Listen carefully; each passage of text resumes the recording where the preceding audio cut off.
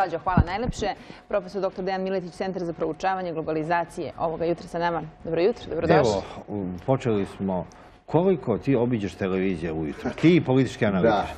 pa ja, ja ne znam. Čekaj, na, na vi tri, četiri adrese. Vi u stvari nama krojite našu sudbinu istinu. Pa boga mi, postoje, ja mislim, dve vrste ljudi koji se bave analizom političke situacije. Jedni oni interpretiraju, a drugi probaju da kreiraju. Ja, se, ja mislim da sam u ovoj drugoj grupi probam da u stvari bude mi neka vrsta glasa Evo recimo naroda vi i date, da na taj način date neke izjave koje nisu zvanične, Tako koje e, vlast izbjegava da kaže, e, razni ministri, ipak njih obavezuju. Reći vi imate dosta manevarskog prostora, možda kažete i ono I slobodu, što da. se proba kako će ljudi reagovati na to, a ti daješ e, izjave iz albanske medije. Dajem. Dajem, apsolutno, dajem ABC News, TV Klan, e, za Kosovo, Kosovo i Metohijske, odnosno Kosovske u ovom slučaju, tako bi to mogli da kažemo, drugi program Kosovske televizije. i oni puste albanske. ono što ti kažeš, to je srpski stav. Puste, puste. Jednom, imao sam jednom prilikom da koristim termin Kosovo i Metohija, a da se prevodi kao Kosovo. I to je u prvim, e, prva izjava koja je bila recimo za RTK 2, a recimo desilo mi se i tako i slično čini mi se i na televiziji Klan albanskoj u početku. Ali sad su prihvatili i ka- kad kažem Kosovo i Metohija, Kosovo i Metohija. Kad kažem vrlo verno prenose i e, mislim korektni su i na kraju krajeva Idro Seferi tu je dosta aktivan njihov predstavnik albanskih medija generalno i vrlo korektno radi. E sad, kako da razumemo što ljudi e, postanu svesni šta treba uraditi na Balkanu, tek kad to prođe. Jedanput je Bill Clinton rekao Borisu Tadiću, nevolja sa bivšim predsjednicima je što kad su predsjednici sve mogu, a ne znaju šta treba da rade.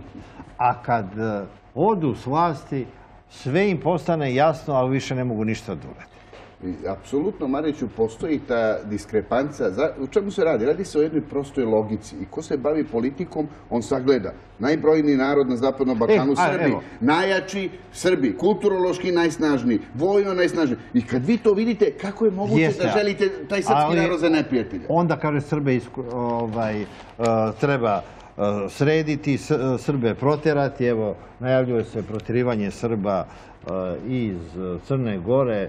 E, Svi prete olujom. Evo, na Kosovu prete da će protjerati Srbe sa severa Kosova. A bivši američki ambasador e, u Beogradu bio Montgomery posle 5. oktobra, koji je e, već u svojim memoarima rekao da je Amerika grešila, da je previše Srbe pritiskala, da je od Zorana Đinjića tražila nemogući i da je Amerika odgovorna za njegovu smrt e, zbog tih uslova i to se nastavilo kasnije. On sad, e, neopterećen funkcijom, kaže e, šta bi on sad uradio.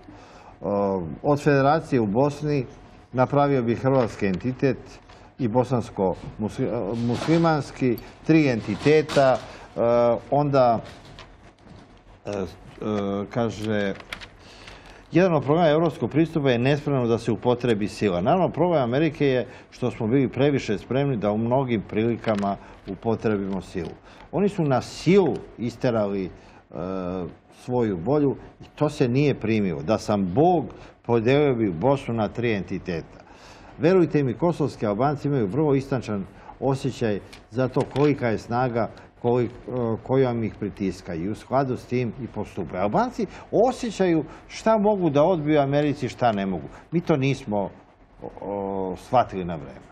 Pa evo, baš indikativno to što Montgomery priča, e, mi smo e, 90-ih upali u jedan model Sjedinjenih američkih država transformacije NATO pakta i njihove uloge na globalnom nivou. I to nas je koštalo I to nas je koštalo- tri, četiri decenije propast. Ovo što sad priča Montgomery, to je druga situacija. Pa nema niko interesa sada da traži u Srbima protivnike. Baš naprotiv. Pa to pogledajte Makrona, pogledajte evo ga Johnson, pogledajte šta se sve dešava e, na svetskoj sceni. Promene su dramatične. U tom kontekstu i promena strategije pristupa na Balkanu i, i pristupa prema srpskom narodu mora da dođe na red.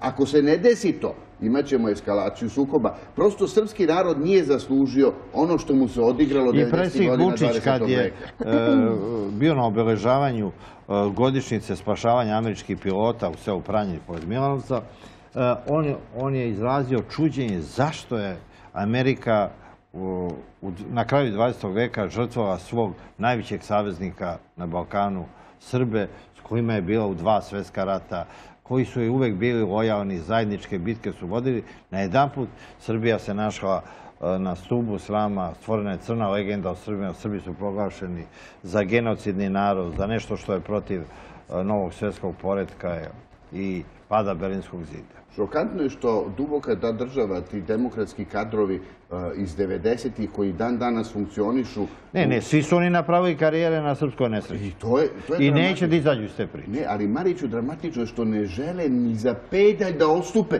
Prosto neverovatna je to situacija. Znate, srpski narod a Montgomery u prvom može- svetskom ratu da trećinu stanovništva, u drugom milionske žrtve. I sad vi sve to bacite pod vodu i, i pokušavate jedan miroljubivi, e, kako da kažem, narod koji se uvek branio. Znači, mi nikad mi nismo napadali možda u balkanskim ratovima, ali to je bilo oslobodilački ratovi, prosto nismo mogli da gledamo. I sad, šta se dešava?